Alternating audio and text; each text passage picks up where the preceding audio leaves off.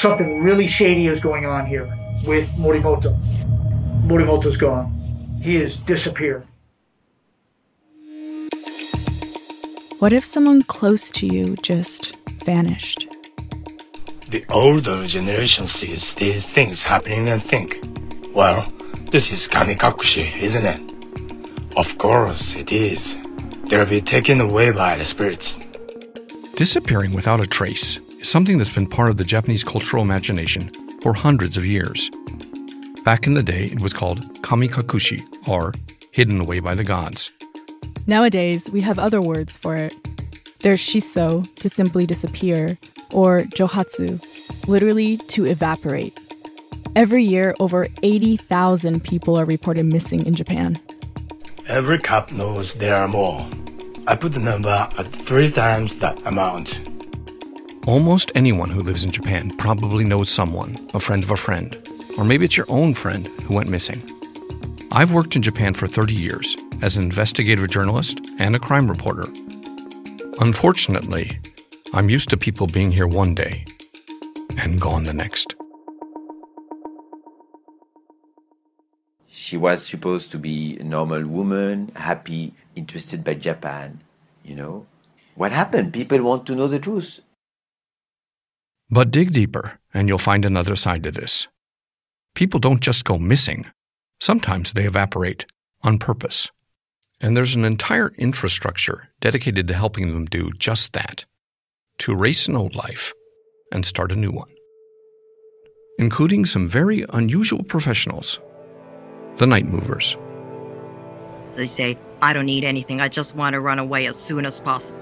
We say, okay, we'll come get you now. There are even manuals for evaporating. I will show you how to use every means possible to obtain public records for another individual. Of course, they're not legal methods. Let's face it, to live anonymously for years, it's going to take some criminal acts. Which also creates opportunity for those who are hired to track them down. We don't think of our work as doing something bad or as an invasion of someone's privacy. Our commitment to our clients has to override any personal qualms we might have. Every person has the right to become happy. I think detective can bring back the happiness of clients by getting to the truth. I'm Jake Adelstein. And I'm Shoko Plambeck. And together, we're about to dive into the world of the evaporated in Japan. And I should probably mention, I have my own stake in the game.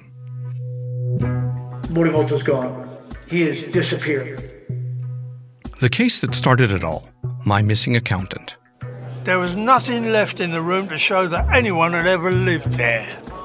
Whether we like it or not, it's up to us, the people left behind, to find the truth and to live in the wake of their disappearance.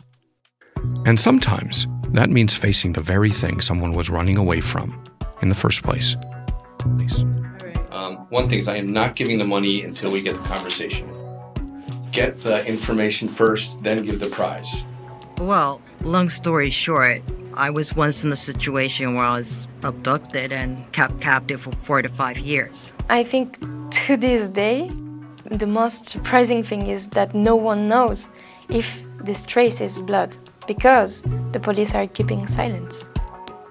From Campside Media and Sony Music Entertainment, this is season one of The Evaporated Gone with the Gods, coming December 12th. Subscribe on Apple Podcasts to binge all episodes or listen weekly wherever you get your podcasts.